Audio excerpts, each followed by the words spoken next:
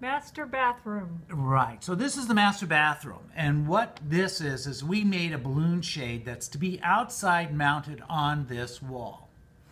And what in the package, what I'm going to include here is a template of the curve so that you could put this template on the wall to know where your brackets could go so that you're going to be able to make this thing level.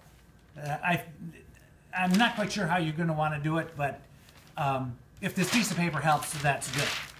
This is the shade right here.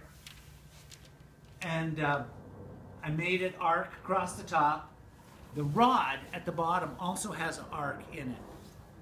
I tied it off so that you're going to be able to adjust it. Um, she doesn't know exactly how she wants this set over the tub, so you're going to have to move this thing up and down for her in order to get this where she's going to want it to be. How high, how much of a drop she wants it. And then it needs to be cleated off. I'm sure she's not going to, she's never going to move it. That's what she says. Yeah, it's just going to be a stationary thing.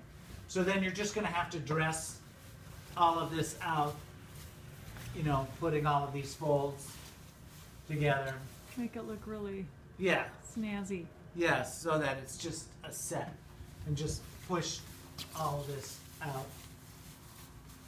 when you do it.